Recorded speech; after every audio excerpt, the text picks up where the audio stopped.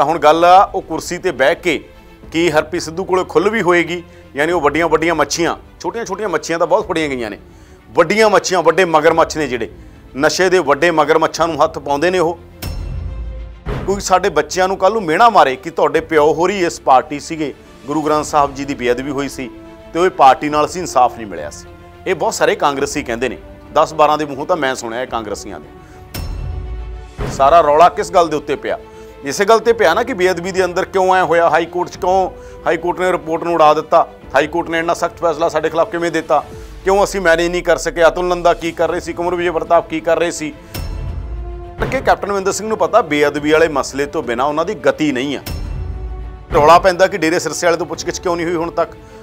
ਕੁਮਰ ਵਿਜੇ ਪ੍ਰਤਾਪ ਕਹਿੰਦੇ ਮੈਂ ਤਾਂ ਗਿਆ ਸੀ, ਮੈਨੂੰ ਨਹੀਂ ਕਰਨ ਦਿੱਤੀ। ਰਾਜਨੀਤੀ 'ਚ ਕਈ ਵਾਰ ਬਹੁਤ ਕੈਲਕੂਲੇਟਿਵ ਹੁੰਦਾ। ਜਿਵੇਂ ਅਗਲੀ ਇਲੈਕਸ਼ਨ ਮੰਨਿਆ ਜਾ ਰਿਹਾ, ਬੜੀ ਮੈਥਮੈਟੀਕਲ ਇਲੈਕਸ਼ਨ ਹੋ ਸਕਦੀ ਹੈ, ਕਿਉਂਕਿ ਪੰਜ ਕੋਣਾ ਮੁਕਾਬਲਾ। ਜੇਟਲੀ ਕੋਲ ਤਾਂ ਬਹੁਤ ਪੈਸਾ ਸੀ ਨਾ। ਜੇਟਲੀ ਦੀ ਇਲੈਕਸ਼ਨ 'ਚ ਤਾਂ ਕਿਹਾ ਜਾਂਦਾ 5 ਕਰੋੜ ਤਾਂ ਬੈਗ 'ਚ ਚੋਰੀ ਹੋ ਗਿਆ ਸੀ 5 ਕਰੋੜ ਦਾ। ਇਹ ਕਿਹਾ ਜਾਂਦਾ। ਪੈਸੇ ਨਾਲ ਮੈਨੇਜਮੈਂਟ ਦੇ ਨਾਲ ਜੇ ਚੋਣ ਜਾਂ ਰਾਜਨੀਤੀ ਖੜੀ ਕੀਤੀ ਜਾ ਸਕਦੀ ਹੋਵੇ, ਫਿਰ ਤਾਂ ਬਾਨੀ ਤੇ ਡਾਨੀ ਸਿੱਧੇ ਹੀ ਰਾਜ ਕਰ ਲੈਣ। ਵਿਜੇਂਦਰ ਸਿੰਗਲਾ ਨੇ ਕੈਪਟਨ ਮਹਿੰਦਰ ਸਿੰਘ ਦੇ ਨਾਲ ਨੇ ਉਹ। ਵਿਜੇਂਦਰ ਸਿੰਗਲਾ ਬੜੇ ਠੋਕ ਕੇ ਕੈਪਟਨ ਮਹਿੰਦਰ ਸਿੰਘ ਨਾਲ ਖੜੇ ਨੇ। ਸ਼ਾਇਦ ਸੁਣਿਆ ਹਾਈ ਕਮਾਨ ਕੋਲੇ ਵੀ ਕੈਪਟਨ ਮਹਿੰਦਰ ਸਿੰਘ ਦੀ ਪਿੱਠ ਥਾ- ਥਾਪੜ ਕੇ ਆਏ ਨੇ।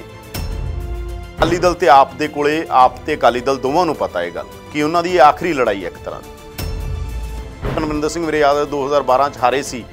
ਤਾਂ ਸਭ ਤੋਂ ਪਹਿਲਾ ਅਟੈਕ ਸੁਖਪਾਲ ਖਹਿਰਾ ਨੇ ਕੀਤਾ ਸੀ। ਬਹੁਤ ਤਿੱਖਾ ਅਟੈਕ ਕੀਤਾ ਸੀਗਾ ਕੈਪਟਨ ਅਮਰਿੰਦਰ ਸਿੰਘ ਤੇ। ਅਕਾਲੀ ਦਲ ਇਹ ਚੋਣਾਂ ਨੂੰ ਐ ਲੜ ਰਿਹਾ ਜਿਵੇਂ ਸਰਪੰਚੀ ਦੀਆਂ ਚੋਣਾਂ ਲੜਨੀਆਂ ਨੇ। ਸਰਪੰਚੀ ਦੀ ਚੋਣ ਕੀ ਹੁੰਦੀ ਹੈ? ਇੱਕ ਇੱਕ ਵੋਟ ਮੈਨੇਜ ਕਰਨੀ। ਕੱਲੀ ਮੈਨੇਜਮੈਂਟ ਸਾਰਾ ਕੁਝ ਨਹੀਂ ਹੁੰਦਾ। ਤੁਹਾਡੀ ਲੀਡਰਸ਼ਿਪ ਹੋਣੀ ਪੋਲਿਟਿਕਸ ਹੋਣੀ ਤੇ ਤੁਹਾਡੀ ਪਰਸੈਪਸ਼ਨ ਹੋਣੀ। ਇਹ ਤਿੰਨ ਚੀਜ਼ਾਂ ਤੋਂ ਬਾਅਦ ਮੈਨੇਜਮੈਂਟ ਕੰਮ ਆਉਂਦੀ ਹੈ। ਕਿ ਆਮ ਆਦਮੀ ਪਾਰਟੀ ਵੀ ਸਰਪੰਚੀ ਦੀਆਂ ਚੋਣਾਂ ਵਾਂਗੂ ਲੱਗੀ ਹੋਈ ਹੈ। ਜਿਵੇਂ ਸਰਪੰਚੀ ਦੀਆਂ ਚੋਣਾਂ ਨੇ ਕੱਲੀ ਕੱਲੀ ਚੀਜ਼ ਪਰਸੈਪਸ਼ਨ ਵੀ ਠੀਕ ਕਰੋ ਥੱਲੇ ਕੱਲੀ ਕੱਲੀ ਵੋਟ ਮੈਨੇਜ ਕਰ ਲਓ। ਜੀ ਉਹੀ ਬਹੁਜਨ ਸਮਾਜ ਪਾਰਟੀ ਦੇ ਵਿੱਚ ਵੀ ਰੌਲਾ ਪੈ ਗਿਆ ਅਕਾਲੀ ਦਲ ਨਾਲ ਗੱਠਜੋੜ ਨੂੰ ਲੈ ਕੇ। ਕਿ ਲੱਗਦਾ ਕਿ ਇਹਦਾ ਵਿਰੋਧੀ ਜਿਹੜੇ ਫਾਇਦਾ ਚੁੱਕ ਸਕਦੇ ਉਹ ਜਿਹੜੇ ਰੌਲੇ ਆ ਉਹ ਉਹ ਰੌਲੇ ਐ ਨਹੀਂ ਕਿ ਰੌਲੇ ਆਪੀ ਪਏ ਹੋਣਗੇ। ਪਵਾਏ ਵੀ ਜਾਂਦੇ ਨੇ। ਹਰਪ੍ਰੀਤ ਸਿੱਧੂ ਨੂੰ ਬਣਾਇਆ ਗਿਆ ਐਸਟੀਐਫ ਚੀਫ। ਬੇਅਦਬੀ ਮਾਮਲੇ ਨੂੰ ਲੈ ਕੇ ਸੁਪਰੀਮ ਕੋਰਟ ਜਾਏਗੀ ਕੈਪਟਨ ਸਰਕਾਰ। ਕਿ ਕੈਪਟਨ ਸਰਕਾਰ ਤੇ ਹਾਈ ਕਮਾਂਡ ਦੀ ਡੈਡਲਾਈਨ ਦਾ ਦਬਾਅ? ਆਖਿਰ ਕਿਉਂ ਸੁਖਬੀਰ ਬਾਦਲ ਨੇ ਵਧਾਈਆਂ ਸਿਆਸੀ ਸਰਗਰਮੀਆਂ? ਆਖਿਰ ਪੰਜਾਬ ਦੇ ਵਿੱਚ ਕੈਪਟਨ ਤੇ ਸੁਖਬੀਰ ਦੀਆਂ ਇਹਨਾਂ ਸਿਆਸੀ ਸਰਗਰਮੀਆਂ ਦੇ ਕੀ ਮਾਇਨੇ ਨੇ? ਇਹਨਾਂ ਨੂੰ ਹੀ ਡੀਕੋਡ ਕਰਦੇ ਹਾਂ। ਪ੍ਰੋਗਰਾਮ ਰਾਜਨੀਤੀ ਡੀਕੋਡ ਦੇ ਵਿੱਚ ਤੇ ਗੱਲਬਾਤ ਕਰਦੇ ਹਾਂ ਪ੍ਰੋ ਪੰਜਾਬ ਟੀਵੀ ਦੇ ਸੰਪਾਦਕ ਯਾਦਵਿੰਦਰ ਸਿੰਘ ਉਹਨਾਂ ਦੇ ਨਾਲ। ਤਾਂ ਯਾਦਵਿੰਦਰ ਜੀ ਮੁੜ ਤੋਂ ਐਸਟੀਐਫ ਚੀਫ ਜਿਹੜੇ ਨੇ ਹਰਪ੍ਰੀਤ ਸਿੱਧੂ ਉਹਨਾਂ ਨੂੰ ਲਗਾ ਦਿੱਤਾ ਗਿਆ। ਇਹਦੇ ਕੀ ਮਾਇਨੇ ਨੇ? ਕਿ ਲੱਗਦਾ ਕਿ ਜਾਂਚ ਜਿਹੜੀ ਹੈ ਨਸ਼ਿਆਂ ਨੂੰ ਲੈ ਕੇ ਜੋ ਹੈ ਜਾਂਚ ਤੇਜ਼ ਹੋ ਜਾਏਗੀ? ਦੇਖੋ ਸਵਾਲ ਜਿਹੜੀਆਂ ਜਿਹੜੀਆਂ ਚੀਜ਼ਾਂ ਨੂੰ ਲੈ ਕੇ ਉੱਠ ਰਹੇ ਸੀ ਔਰ ਖਾਸ ਤੌਰ ਤੇ 18 ਨੁਕਾਤੀ ਪ੍ਰੋਗਰਾਮ ਜਿਹਦੇ ਉੱਤੇ ਲਗਾਤਾਰ ਗੱਲਬਾਤ ਕੀਤੀ ਹਾਈ ਕਮਾਨ ਨੇ ਜਾਂ ਕਹੀਏ ਖੜਗੇ ਕਮੇਟੀ ਨੇ। ਉਸ ਤੋਂ ਬਾਅਦ ਜੇ ਤੁਸੀਂ ਸਰਗਰਮੀ ਦੇਖੋਗੇ ਕੈਪਟਨ ਅਮਰਿੰਦਰ ਸਿੰਘ ਦੀ ਦਿੱਖ ਅਦਿੱਖ ਸਰਗਰਮੀ ਦੋ ਤਰ੍ਹਾਂ ਦੀ ਸਰਗਰਮੀ ਹੈ ਕੈਪਟਨ ਅਮਰਿੰਦਰ ਸਿੰਘ ਦੀ। ਇੱਕ ਹਾਈ ਕਮਾਨ ਨੂੰ ਪੋਲੀਟੀਕਲੀ ਕਾਊਂਟਰ ਕਿਵੇਂ ਕਰਨਾ? ਇੱਕ ਜਿਹੜੇ ਇਸ਼ੂ ਨੇ, ਉਹਨਾਂ ਇਸ਼ੂਜ਼ ਦੇ ਉੱਤੇ ਇੱਕ ਆਪਣੀ ਰਾਜਨੀਤੀ ਕਿਵੇਂ ਬਿਲਡ ਕਰਨੀ ਹੈ? ਕੈਪਟਨ ਅਮਰਿੰਦਰ ਸਿੰਘ ਬਾਰੇ ਬਹੁਤ ਸਾਰੇ ਲੋਕ ਤਰ੍ਹਾਂ ਤਰ੍ਹਾਂ ਸੋਚਦੇ ਹੋਣਗੇ, ਪਰ ਉਹਨਾਂ ਦੇ ਬੇਹੱਦ ਕਰੀਬੀ ਲੋਕ ਕਹਿੰਦੇ ਨੇ ਕਿ ਕੈਪਟਨ ਅਮਰਿੰਦਰ ਸਿੰਘ ਆਪਣੀ ਇਮੇਜ ਨੂੰ ਲੈ ਕੇ ਹਮੇਸ਼ਾ ਬਹੁਤ ਕੌਨਸ਼ੀਅਸ ਰਹੇ ਨੇ। ਚਾਹੇ ਉਹ 84 ਦਾ ਮਾਮਲਾ ਸੀ, ਜਦੋਂ ਬਲੂ ਸਟਾਰ ਦੇ ਟਾਈਮ ਕੈਪਟਨ ਨੇ ਰਿਜ਼ਾਈਨ ਕੀਤਾ, ਚਾਹੇ ਉਹ ਪਾਣੀਆਂ ਦਾ ਮਸਲਾ ਸੀ। ਕੈਪਟਨ ਅਮਰਿੰਦਰ ਸਿੰਘ ਨੂੰ ਪਤਾ ਹੈ ਕਿ ਰਾਜਨੀਤੀ 'ਚ ਇਮੇਜ ਹੀ ਸਭ ਤੋਂ ਵੱਡੀ ਚੀਜ਼ ਹੁੰਦੀ ਹੈ। ਜੇ ਤੁਹਾਡੀ ਇਮੇਜ ਟਾਰਨਿਸ਼ ਹੋਗੀ ਜੇ ਤੁਹਾਡੀ ਇਮੇਜ ਖਤਮ ਹੋਗੀ ਤਾਂ ਤੁਸੀਂ ਖਤਮ ਹੋ ਜਾਂਦੇ ਹੋ। ਤੇ ਇਸ ਕਰਕੇ ਕੈਪਟਨ ਅਮਰਿੰਦਰ ਸਿੰਘ ਜਿਨ੍ਹਾਂ ਮੁੱਦਿਆਂ ਦੇ ਉੱਤੇ ਬਾਰ-ਬਾਰ ਕਿਹਾ ਗਿਆ ਕੈਪਟਨ ਤੇ ਬਾਦਲ ਰਲੇ ਹੋਏ ਨੇ। ਇਹ ਪ੍ਰਚਾਰ ਬਹੁਤ ਵੱਡੇ ਦੌਰ 'ਚ ਆਮ ਆਦਮੀ ਪਾਰਟੀ ਨੇ ਕੀਤਾ। ਉਸ ਤੋਂ ਬਾਅਦ ਹੁਣ ਕਾਂਗਰਸੀ ਇਹ ਗੱਲ ਕਹਿਣ ਲੱਗ ਤੇ ਇਸ ਗੱਲ ਨੂੰ ਕਿਵੇਂ ਕਾਊਂਟਰ ਕੀਤਾ ਜਾ ਸਕਦਾ? ਜੇ ਤੁਸੀਂ ਦੇਖੋਗੇ ਹਰਪ੍ਰੀਤ ਸਿੱਧੂ ਨੇ ਹਾਲਾਂਕਿ ਛੁੱਟੀ ਗਏ ਹੋਏ ਸੀ ਉਹ ਪੜਨ ਗਏ ਹੋਏ ਸੀਗੇ। ਬਹੁਤ ਜ਼ਿਆਦਾ ਪੜਨ ਲਿਖਣ ਵਾਲੇ ਅਫਸਰ ਨੇ ਉਹ। ਕਾਫੀ ਜ਼ਿਆਦਾ ਮਿਹਨਤੀ ਇਮਾਨਦਾਰ ਤੇ ਪੜਨ ਲਿਖਣ ਵਾਲੇ ਪੂਰੀ ਦੁਨੀਆ ਦੇ ਅੰਦਰ ਜੀਓਪੋਲਿਟਿਕਸ ਕੀ ਹੋ ਰਿਹਾ, ਪੂਰੀ ਦੁਨੀਆ ਦੇ ਅੰਦਰ ਡਰਗ ਤੇ ਕੀ ਹੋ ਰਿਹਾ, ਉਹਨਾਂ ਦੀ ਬਹੁਤ ਸ਼ਾਨਦਾਰ ਸਟੱਡੀ ਹੈਗੀ। ਇਸ ਕਰਕੇ ਉਹ ਪੜਨ ਗਏ ਹੋਏ ਸੀ, ਪਰ ਜਦੋਂ ਹੀ ਵਾਪਸ ਪਰਦੇ ਆ, ਉਹਨਾਂ ਨੂੰ ਜਿਹੜੇ ਦੂਜੇ ਅਫਸਰ ਉਹਦੀ ਥਾਂ ਦੇ ਉੱਤੇ ਉਹਨਾਂ ਨੂੰ ਅਹੁਦਾ ਦੇ ਦਿੱਤਾ ਜਾਂਦਾ। ਜਾਨੀ ਇਸ ਟਾਈਮ ਜੇ ਇਮੇਜ ਕੈਪਟਨ ਅਮਰਿੰਦਰ ਸਿੰਘ ਨੇ ਆਪਣੀ ਬਚਾਉਣੀ ਆ, ਤਾਂ ਕੀ ਲੋੜ ਸੀ ਕਿ ਜਿੰਨਾ ਜਿੰਨਾ ਮੁੱਦਿਆਂ ਦੇ ਉੱਤੇ ਲੋਕ ਤੁਹਾਨੂੰ ਘੇਰ ਰਹੇ ਨੇ, ਜਿਨ੍ਹਾਂ ਤੇ ਗੱਲ ਕਰ ਰਹੇ ਨੇ ਹਾਈ ਕਮਾਂਡ ਜਦੋਂ ਡੈਡਲਾਈਨ ਦੇ ਰਹੀ ਹੈ, ਤਾਂ ਤੁਸੀਂ ਉਹਨਾਂ ਮੁੱਦਿਆਂ ਦੇ ਉੱਤੇ ਇੱਕ ਲੰਬੀ ਲਕੀਰ ਖਿੱਚ ਦਿਓ। ਇੱਕ ਇਹੀ ਜੀ ਲਕੀਰ ਖਿੱਚੋ ਜਿਹਦੇ ਨਾਲ ਤੁਹਾਡੇ ਵਿਰੋਧੀ ਆ ਜਿਹੜੇ ਉਹ ਚੁੱਪ ਹੋ ਜਾਣ ਜਾਂ ਜੇ ਉਹਦੇ 'ਚ ਕੁਝ ਹੁੰਦਾ ਅੱਗੇ, ਤਾਂ ਉਹਦੇ ਤੇ ਤਾੜੀਆਂ ਹੀ ਵੱਜ ਜਾਣਗੀਆਂ। ਹੁਣ ਅਗਰ ਡਰੱਗ ਵਾਲੀ ਜਿਹੜੀ ਐਸਟੀਐਫ ਆ, ਉਹਦੇ ਮੁਖੀ ਦੁਆਰਾ ਹਰਪ੍ਰੀਤ ਸਿੱਧੂ ਲੱਗੇ ਨੇ, ਅਗਰ ਉਹਨਾਂ ਨੂੰ ਖੁੱਲ੍ਹ ਦਿੱਤੀ ਜਾਏਗੀ, ਅਗਰ ਉਹਨਾਂ ਨੂੰ ਵੱਡੇ ਐਕਸ਼ਨ ਕਰਨ ਦਿੱਤੇ ਜਾਣਗੇ ਪੰਜਾਬ ਦੇ ਅੰਦਰ, ਤਾਂ 101% ਇੱਕ ਇਮੇਜ ਬਿਲਡਿੰਗ ਹੋਏਗੀ। ਕੈਪਟਨ ਅਮਰਿੰਦਰ ਸਿੰਘ ਦੇ ਰਾਜਨੀਤਿਕ ਕੈਰੀਅਰ ਦੀ ਜਾਂ ਕੈਪਟਨ ਅਮਰਿੰਦਰ ਸਿੰਘ ਦੀ ਰਾਜਨੀਤੀ ਦੀ ਜਾਂ ਕੈਪਟਨ ਅਮਰਿੰਦਰ ਸਿੰਘ ਦੀ ਇੱਕ ਸ਼ਖਸੀਅਤ ਦੀ ਜਿਹੜੀ ਇਮੇਜ ਬਿਲਡਿੰਗ ਆਗੀ ਉਹ ਹੋਏਗੀ। ਇਸ ਕਰਕੇ ਇਸੇ ਕਰਕੇ ਮੈਨੂੰ ਲੱਗਦਾ ਹਰਪ੍ਰੀਤ ਸਿੱਧੂ ਨੂੰ ਦੁਬਾਰਾ ਲਿਆ ਕੇ ਇਕੱਲਾ ਬਿਠਾਇਆ ਨਹੀਂ ਜਾਏਗਾ। ਜਿਵੇਂ ਹਰਪ੍ਰੀਤ ਸਿੱਧੂ ਬਾਰੇ ਸਾਨੂੰ ਪਤਾ, ਉਹਨਾਂ ਨੇ ਜਦੋਂ ਜਦੋਂ ਇਸ ਮਸਲੇ 'ਚ ਰਿਪੋਰਟਾਂ ਦਿੱਤੀਆਂ, ਜਦੋਂ ਜਦੋਂ ਗੱਲ ਕੀਤੀ, ਉਹਨਾਂ ਨੂੰ ਸ਼ਾਂਤ ਜਿਹਾ ਕਰ ਦਿੱਤਾ ਗਿਆ ਜਾਂ ਉਹਨਾਂ ਦੀ ਬਾਹਲੀ ਚੱਲਣ ਨਹੀਂ ਦਿੱਤੀ ਗਈ। ਪਰ ਉਹ ਤੋਂ ਉਹਦੇ ਬਾਵਜੂਦ ਹਰਪ੍ਰੀਤ ਸਿੱਧੂ ਕੁਝ ਜ਼ਿਆਦਾ ਕਦੇ ਖੁੱਲ ਕੇ ਨਹੀਂ ਬੋਲੇ, ਚੁੱਪ ਹੀ ਰਹੇ ਸਾਇਲੈਂਟ ਹੀ ਰਹੇ, ਕਦੇ ਵੀ ਪੋਲੀਟੀਕਲ ਗੱਲ ਇਸ ਤਰ੍ਹਾਂ ਦੀ ਨਹੀਂ ਕਰਦੇ ਰਹੇ। ਪਰ ਹੁਣ ਜਿਸ ਤਰੀਕੇ ਦੇ ਨਾਲ ਕ੍ਰਾਈਸਿਸ ਆ, ਸੰਕਟ ਹੈ, ਸੰਕਟ ਚੋਂ ਹੀ ਮੌਕੇ ਲੱਭ ਰਹੀ ਹੈ ਹਾਈ ਕਮਾਨ ਸੰਕਟ ਚੋਂ ਹੀ ਮੌਕਾ ਲੱਗ- ਲੱਭਣਗੇ ਕੈਪਟਨ ਅਮਰਿੰਦਰ ਸਿੰਘ। ਉਹ ਕਹਿੰਦੇ ਆ ਨਾ ਕਿ ਜਿਹੜਾ ਅਸਲ ਬੰਦਾ ਹੁੰਦਾ, ਉਹ ਕ੍ਰਾਈਸਿਸ ਨੂੰ ਅਪਰਚੁਨਿਟੀ ਬਣਾ ਦਿੰਦਾ। ਜਿਹੜਾ ਬਹੁਤ ਸਿਰੇ ਦਾ ਬੰਦਾ ਹੁੰਦਾ, ਜਿਹਨੂੰ ਬਹੁਤ ਸਿਰੇ ਦੀ ਰਾਜਨੀਤੀ ਆਉਂਦੀ ਹੁੰਦੀ ਹੈ ਜਾਂ ਸਿਰੇ ਦੀ ਸਮਝ ਹੁੰਦੀ ਹੈ, ਜਿਹੜਾ ਬਹੁਤ ਸਮਝਦਾਰ ਬੰਦਾ ਹੁੰਦਾ, ਉਹ ਕਦੇ ਕ੍ਰਾਈਸਿਸ ਨੂੰ ਕ੍ਰਾਈਸਿਸ ਨਹੀਂ ਮੰਨਦਾ। ਉਹ ਕ੍ਰਾਈਸਿਸ ਨੂੰ ਵੀ ਅਪਰਚੁਨਿਟੀ ਬਣਾ ਦਿੰਦਾ ਯਾਨੀ ਕ੍ਰਾਈਸਿਸ ਹੈ, ਪਰ ਮੌਕਾ ਉਹ ਹੈ, ਉਸ ਕ੍ਰਾਈਸਿਸ ਚੋਂ ਵੀ ਉੱਭਰ ਕੇ ਇੱਕ ਵੱਡਾ ਬੰਦਾ ਬਣ ਜਾਂਦਾ। ਤਾਂ ਕੋਸ਼ਿਸ਼ ਕੈਪਟਨ ਅਮਰਿੰਦਰ ਸਿੰਘ ਦੀ ਸ਼ਾਇਦ ਇਹ ਹੋਏਗੀ ਉਹ ਕੋਸ਼ਿਸ਼ ਕਿੰਨਾ ਸਫਲ ਹੁੰਦੇ ਨੇ ਇਹਦਾ ਜੀ ਐਸਟੀਐਫ ਕੁਝ ਕਰੇਗੀ ਜਾਂ ਕੁਝ ਅੱਗੇ ਹੋਏਗਾ, ਤਾਂ ਹੀ ਪਤਾ ਲੱਗੇਗਾ। ਪਰ ਸਿੱਧੇ ਤੌਰ ਦੇ ਉੱਤੇ ਕੈਪਟਨ ਅਮਰਿੰਦਰ ਸਿੰਘ ਨੂੰ ਪਤਾ ਹੈ ਕਿ ਇਸ ਤਰ੍ਹਾਂ ਦੀ ਰਾਜਨੀਤੀ ਜਾਂ ਇਸ ਤਰ੍ਹਾਂ ਦੀ ਰਣਨੀਤੀ ਜਿਹੜੀ ਉਹਨਾਂ ਨੇ ਤਿਆਰ ਕੀਤੀ ਹੈ, ਰਣਨੀਤੀ ਤੋਂ ਬਿਨਾ ਸਰਦਾ ਨਹੀਂ ਹੈ।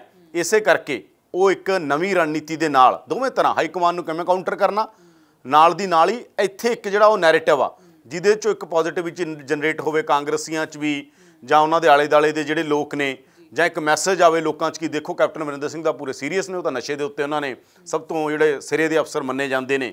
ਹਰਪ੍ਰੀਤ ਸਿੱਧੂ ਉਹਨਾਂ ਨੂੰ ਲਿਆ ਕੇ ਲਾ ਦਿੱਤਾ ਗਿਆ। ਤਾਂ ਹੁਣ ਗੱਲ ਆ ਉਹ ਕੁਰਸੀ ਤੇ ਬਹਿ ਕੇ ਕੀ ਹਰਪ੍ਰੀਤ ਸਿੱਧੂ ਕੋਲੇ ਖੁੱਲ ਵੀ ਹੋਏਗੀ, ਯਾਨੀ ਉਹ ਵੱਡੀਆਂ ਵੱਡੀਆਂ ਮੱਛੀਆਂ ਛੋਟੀਆਂ ਛੋਟੀਆਂ ਮੱਛੀਆਂ ਤਾਂ ਬਹੁਤ ਫੜੀਆਂ ਗਈਆਂ ਨੇ। ਵੱਡੀਆਂ ਮੱਛੀਆਂ, ਵੱਡੇ ਮਗਰਮੱਛ ਨੇ ਜਿਹੜੇ। ਨਸ਼ੇ ਦੇ ਵੱਡੇ ਮਗਰਮੱਛਾਂ ਨੂੰ ਹੱਥ ਪਾਉਂਦੇ ਨੇ ਉਹ। ਜਿਵੇਂ ਰਾਣੂ ਵਾਲੇ ਕੇਸ 'ਚ ਬਹੁਤ ਸਾਰਾ ਕੁਝ ਨਿਕਲ ਕੇ ਆਇਆ ਸੀਗਾ।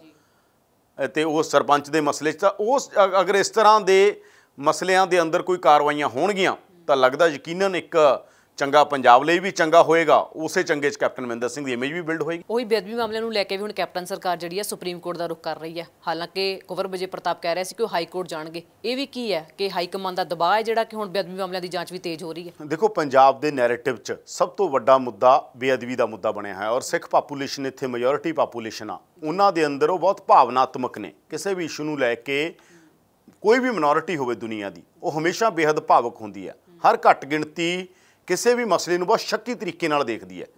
ਚਾਹੇ ਉਹਦੇ 'ਚ ਕੋਈ ਇਨਵੈਸਟੀਗੇਸ਼ਨ ਠੀਕ ਹੋ ਰਹੀ ਹੋ ਗਲਤ, ਪਰ ਮਿਨੋਰਿਟੀ ਨੂੰ ਇਹ ਲੱਗਦਾ ਹੁੰਦਾ, ਘੱਟ ਗਿਣਤੀ ਨੂੰ ਇਹ ਲੱਗਦਾ ਹੁੰਦਾ, ਸ਼ਾਇਦ ਸਾਡੇ ਖਿਲਾਫ ਕੋਈ ਸਾਜ਼ਿਸ਼ ਹੋ ਰਹੀ ਹੈ, ਸ਼ਾਇਦ ਸਾਨੂੰ ਮਾਰਨ ਦੀ ਕੋਸ਼ਿਸ਼ ਹੋ ਰਹੀ ਹੈ, ਸ਼ਾਇਦ ਸਾਡੇ ਮਸਲਿਆਂ 'ਚ ਸਰਕਾਰਾਂ ਫੇਰ ਨਹੀਂ ਹੈ। ਇਹ ਹਰ ਮਿਨੋਰਿਟੀ ਦੇ ਮਨ 'ਚ ਰਹਿੰਦਾਗਾ ਕੋਈ ਵੀ ਘੱਟ ਗਿਣਤੀ ਹੋਵੇ। ਤਾਂ ਸਿੱਖਾਂ ਦੇ ਮਸਲੇ ਤਾਂ ਇਹ ਹੋਇਆ ਕਿ ਜਿਹੜੇ ਉਹ ਇਨਸਾਫ ਮੰਗ ਰਹੇ ਸੀ, ਇਨਸਾਫ ਨਹੀਂ ਮਿਲ ਰਿਹਾਗਾ ਯਾਨੀ ਸਰਸੇ ਵਾਲੇ ਫੜੇ ਗਏ, ਸਰਸੇ ਵਾਲੇ ਦੇ ਪਿੱਛੇ ਕੌਣ ਸੀ? ਡੇਰਾ ਸਿਰਸਾ ਮੁਖੀ ਕਿੱਥੇ ਆ? ਅਕਸ਼ੇ ਕੁਮਾਰ, ਹੋਰ ਸਾਰੀਆਂ ਗੱਲਾਂ। ਤੇ ਇਹਨਾਂ ਗੱਲਾਂ ਨੂੰ ਲੈ ਕੇ ਬਹੁਤ ਵੱਡੇ ਪੱਧਰ ਦੇਖੋ ਕਾਂਗਰਸ 'ਚ ਵਿਰੋਧ ਕਿਉਂ ਹੋਇਆ? ਕਾਂਗਰਸੀਆਂ ਨੂੰ ਪਤਾ, ਦੋ ਕਾਰਨ ਨੇ ਉਹਦੇ। ਇੱਕ ਕਾਰਨ ਇਮੀਡੀਏਟ ਆ, ਇੱਕ ਹਿਸਟੋਰੀਕਲ ਕਾਰਨ ਇਹ ਆ ਕਿ ਕੱਲ ਨੂੰ ਇਹ ਲੱਗਦਾ, ਬਹੁਤ ਸਾਰੇ ਐਮਐਲਏ ਜਦੋਂ ਅਸੀਂ ਮਿਲਦੇ ਹਾਂ ਕਹਿੰਦੇ ਆ ਕਿ ਸਾਡੀਆਂ ਆਉਣ ਵਾਲੀਆਂ ਪੀੜ੍ਹੀਆਂ ਕਹਿੰਦੇ ਪੰਜਾਬ 'ਚ ਮਿਹਣੇ ਮਾਰਨ ਦੀ ਆਦਤ ਬਹੁਤ ਹੈ। ਕੋਈ ਸਾਡੇ ਬੱਚਿਆਂ ਨੂੰ ਕੱਲ ਨੂੰ ਮਿਹਣਾ ਮਾਰੇ ਕਿ ਤੁਹਾਡੇ ਪਿਓ ਹੋਰੀ ਇਸ ਪਾਰਟੀ ਸੀਗੇ।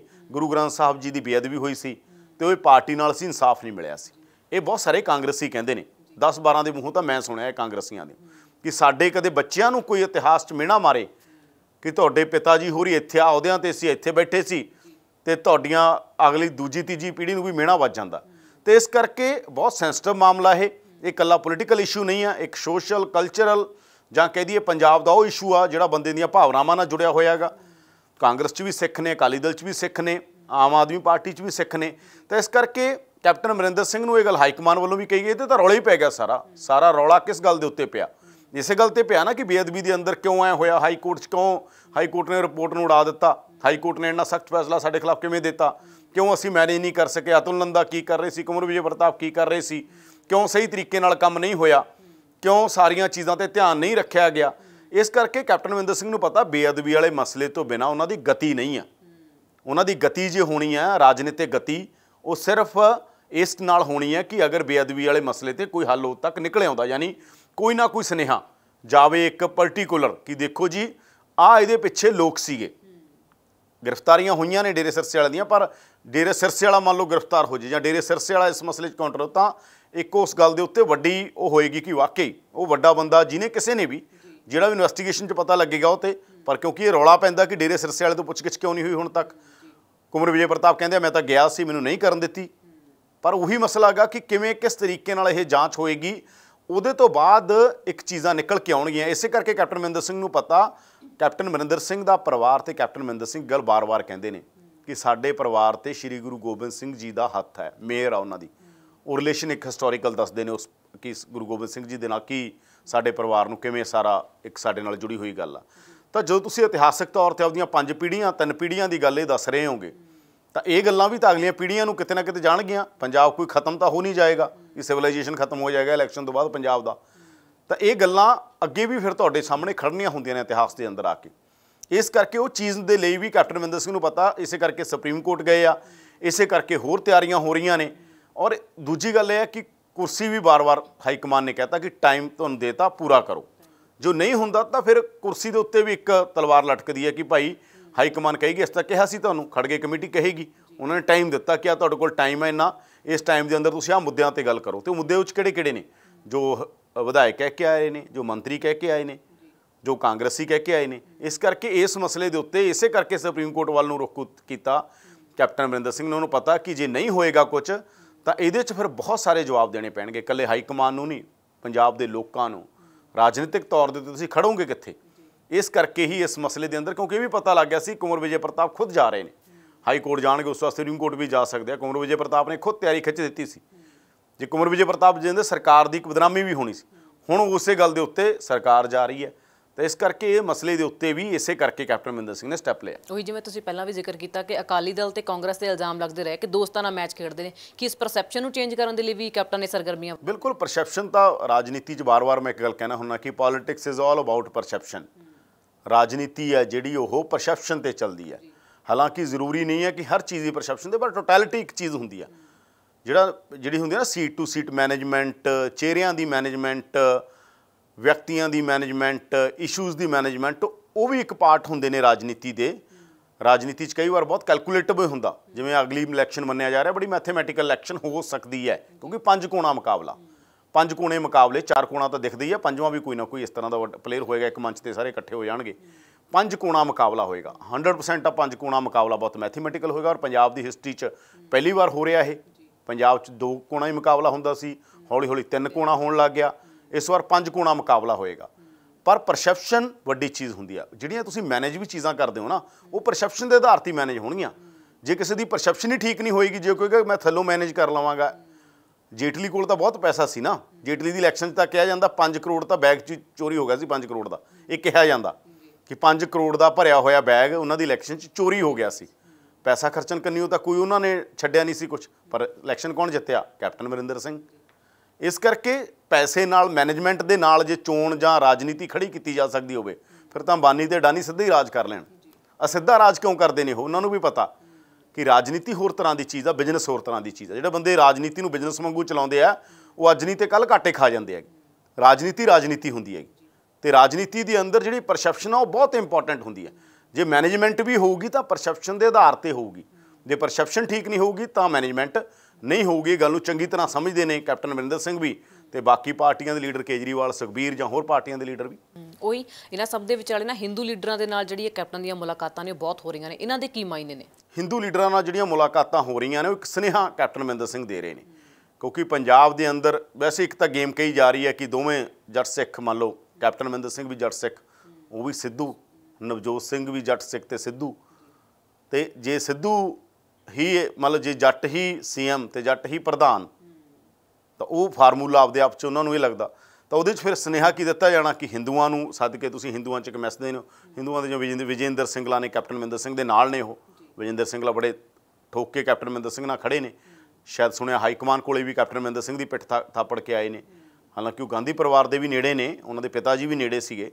ਇਸ ਕਰਕੇ ਉਹ ਸਾਰੀਆਂ ਚੀਜ਼ਾਂ ਨੇ, ਪਰ ਉਹ ਹਿੰਦੂ ਲੀਡਰਾਂ ਨਾਲ ਮੀਟਿੰਗ ਕਰਕੇ ਬਾਕੀ ਥਾਵਾਂ ਦੇ ਉੱਤੇ ਇੱਕ ਜਿਹੜੀ ਉਹ ਪੂਰੀ ਪੋਲਿਟਿਕਸ ਦਾ ਇੱਕ ਸੁਨੇਹਾ ਗਾ ਇੱਕ ਉਹਨਾਂ ਨੂੰ ਜਿਹੜਾ ਅ, ਹਿੰਦੂ ਭਾਈਚਾਰੇ ਨੂੰ ਇੱਕ ਮ- ਸੁਨੇਹਾ ਦੇਣ ਦੀ ਵੀ ਗੱਲ ਕਿਉਂਕਿ ਕੈਪਟਨ ਅਮਰਿੰਦਰ ਸਿੰਘ ਦੇ ਬਹੁਤ ਸਾਰੇ ਸਟੈਂਡ ਨੇ ਜਿਨ੍ਹਾਂ ਕਰਕੇ ਹਿੰਦੂ ਭਾਈਚਾਰਾ ਵੀ ਉਹਨਾਂ ਨੂੰ ਬਹੁਤ ਸੈਲੀਬ੍ਰੇਟ ਕਰਦਾ।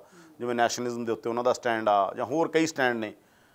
ਉਹ ਸਟੈਂਡ ਉਹਨਾਂ ਨੂੰ ਪੇ ਕਰਦੇ ਨੇ ਕੈਪਟਨ ਅਮਰਿੰਦਰ ਸਿੰਘ ਨੂੰ। ਇਸੇ ਕਰਕੇ ਬਾਰ-ਬਾਰ ਜਦੋਂ ਬੋਲਦੇ ਨੇ ਪਾਕਿਸਤਾਨ ਤੇ ਕੋਈ ਕਹਿੰਦਾ ਪਾਕਿਸਤਾਨ ਤੇ ਕੈਪਟਨ ਨਾਲ ਕਰਤਾਰਪੁਰ ਦੇ ਲਾਂਘੇ ਦੇ ਖਿਲਾਫ ਵੀ ਬੋਲ ਗਏ ਸੀ ਯਾਨੀ ਕੈਪਟਨ ਨੇ ਕੀ ਕਿਹਾ ਸੀ ਕਿ ਲਾਂਘਾ ਜਿਹੜਾ ਟੈਰਰਿਜ਼ਮ ਦਾ ਲਾਂਘਾ ਇੱਕ ਤਰ੍ਹਾਂ ਦਾ ਹੋ ਸਕਦਾ ਆਈਐਸਆਈ ਇਹਨੂੰ ਯੂਜ਼ ਕਰ ਸਕਦੇ ਇਸ ਤਰ੍ਹਾਂ ਦੀਆਂ ਬਹੁਤ ਸਾਰੀਆਂ ਗੱਲਾਂ ਕਹੀਆਂ ਤਾਂ ਉਹ ਕਿਤੇ ਨਾ ਕਿਤੇ ਉਹ ਸੁਨੇਹਾ, ਕਿਉਂਕਿ ਜਦੋਂ ਵੀ ਪਾਕਿਸਤਾਨ ਦੀ ਗੱਲ ਆਉਂਦੀ ਹੈ ਤਾਂ ਪੰਜਾਬ ਦੇ ਅੰਦਰ ਜਿਹੜਾ ਹਿੰਦੂ ਭਾਈਚਾਰਾ ਹੋਰ ਤਰੀਕੇ ਨਾਲ ਸੋਚਣਾ ਸ਼ੁਰੂ ਕਰਦਾ। ਇਹ ਨਹੀਂ ਕਿ ਆਮ ਹਿੰਦੂ ਭਾਈਚਾਰਾ ਬਹੁਤ ਵਧੀਆ, ਸਾਰਾ ਭਾਈਚਾਰਾ ਸਿੱਖਾਂ ਤੇ ਹਿੰਦੂਆਂ ਦਾ ਬਹੁਤ ਭਾਈਚਾਰਾ ਪੰਜਾਬ ਦੇ ਅੰਦਰ। ਉਹਨਾਂ ਦੇ ਨਾਲ ਬਹੁਤ ਪਿਆਰ ਆ। ਪਰ ਰਾਜਨੀਤੀ ਦੇ ਅੰਦਰ ਰਾਜਨੇਤਾਵਾਂ ਨੂੰ ਸਭ ਨੂੰ ਪਤਾ ਹੁੰਦਾ ਕਿਹਦੀਆਂ ਭਾਵਨਾਵਾਂ ਨਾਲ ਕਿਸ ਤਰੀਕੇ ਨਾਲ ਖੇਡਣਾਗਾ। ਕਿੱਥੋਂ ਪੂਛ ਦਬਾਂਗੇ ਕੰਨ ਖੜੇ ਹੋਣਗੇ, ਕਿੱਥੋਂ ਕੰਨ ਦਬਾਂਗੇ ਪੂਛ ਖੜੀ ਹੋਏਗੀ। ਇਹ ਗੱਲ ਚੰਗੀ ਤਰ੍ਹਾਂ ਪਤਾ ਹੁੰਦਾ ਕਿਸੇ ਵੀ ਪੋਲੀਟੀਕਲ ਲੀਡਰ ਨੂੰ। ਇਸ ਕਰਕੇ ਉਹ ਪੋਲਰਾਈਜੇਸ਼ਨ ਕਿਸ ਤਰੀਕੇ ਨਾਲ ਕਰਨਾ, ਪਾਕਿਸਤਾਨ ਦੀ ਗੱਲ ਕਰੋਗੇ, ਪਾਕਿਸਤਾਨ ਇਹ ਨਾ ਕਰਦੇ, ਪੁਰਾਣੀ ਗੱਲ ਉਹਦੇ ਦਿਮਾਗ 'ਚ ਉੱਠੇਗੀ, ਉਸ ਭਾਈਚਾਰੇ ਦੀ ਕਿਤੇ ਉਦੋਂ ਵਾਲਾ ਦੌਰ ਨਾ ਆ ਜੇ।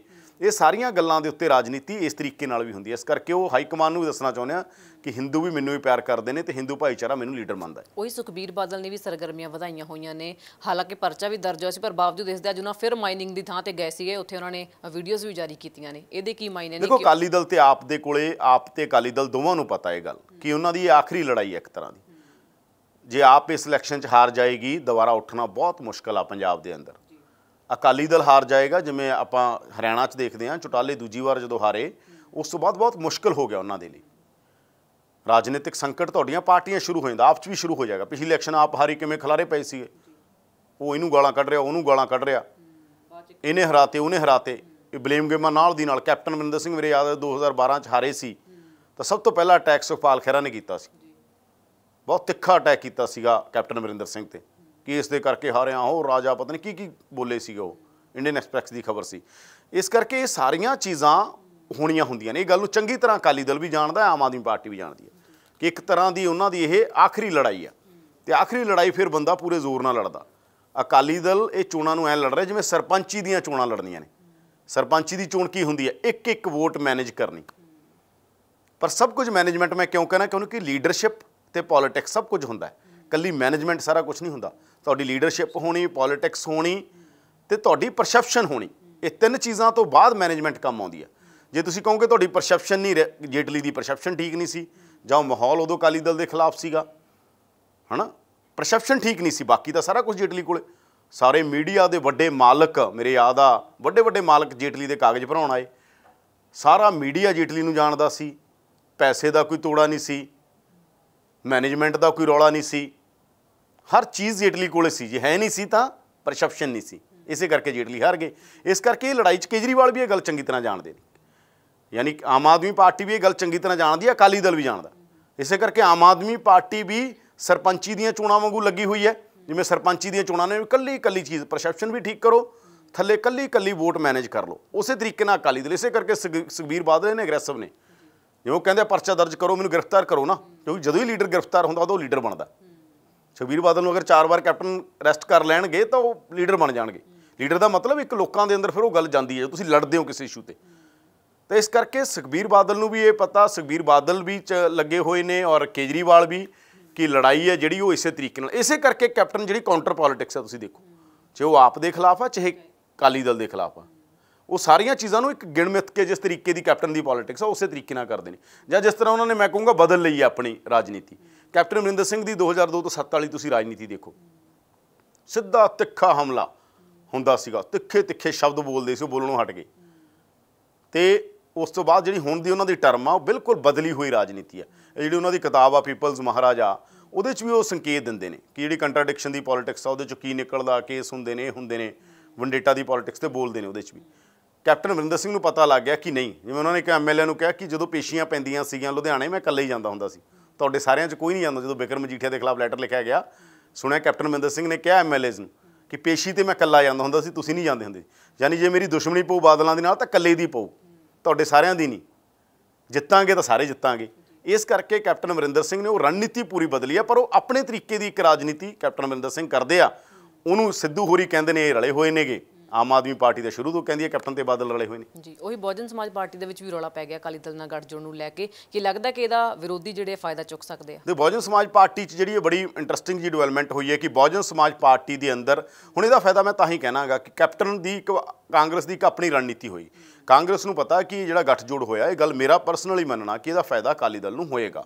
ਜਦੋਂ ਇਹ ਦੋ ਵੋਟ ਬੈਂਕ ਇਕੱਠੇ ਹੁੰਦੇ ਆ, ਤਾਂ ਇਹ ਅਪਸਰਜ ਹੈਗਾ 96 ਚ ਦੇਖ ਲਓ ਤੁਸੀਂ।